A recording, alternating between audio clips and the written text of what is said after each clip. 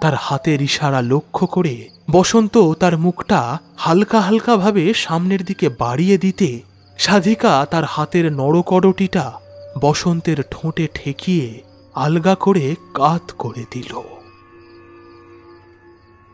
বসন্তের ফাঁক হয়ে থাকা ঠোঁটের ভেতর দিয়ে গলাবে নেমে যেতে থাকল সাধিকার দেওয়া সেই ঝাঁঝালো মদ। দুই ঢোক পেটে যেতেই বসন্ত যেন আপনা থেকে ঘেসে এলো সাধিকার দিকে।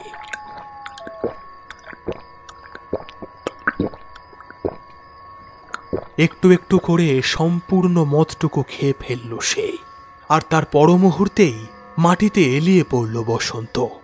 আর সেই সাধিকা নরকরটি মাটিতে নামিয়ে রেখে তার কোলে রাখা সেই মরার হাড়খানা করটির ওপর বৃত্তাকারে ঘোরাতে ঘোরাতে এক চিমটি ভস্যের ছাই তার ওপর ছড়িয়ে দিল। তারপর একটা গর্তের মধ্যে সেই নরকরটি চাপা দিয়ে তার ওপর আসন করে বসে